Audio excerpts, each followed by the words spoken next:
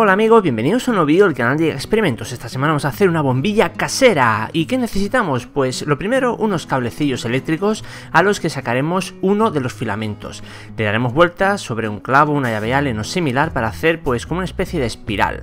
Y vamos a probar primeramente pues qué sucede cuando conectamos una espiral a los polos de una batería. Pues lo que hemos visto, la espiral ofrece resistencia al paso de la electricidad de los electrones y por eso se calienta y se pone al rojo vivo. Pues nada, eso será el filamento que usaremos para nuestra bombilla. Con un par de cables rígidos de un milímetro de cobre también hemos hecho el soporte para el filamento y ahora simplemente resta el eliminar el oxígeno del interior de la bombilla para cuando se ponga al rojo vivo el filamento no se produzca la combustión de este y se rompa.